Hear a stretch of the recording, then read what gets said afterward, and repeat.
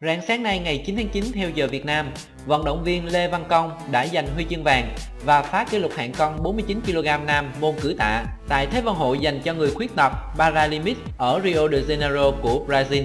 Lê Văn Công về nhóc khi vượt qua mức tổng cử 181 kg, đồng thời hai lần phá kỷ lục Paralympic ở hạng cân này.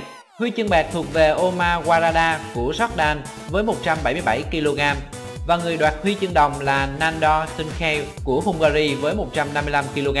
Đây là tấm huy chương đầu tiên của thể thao Việt Nam tại những các kỳ Paralympics kể từ khi bắt đầu tham dự từ năm 2000.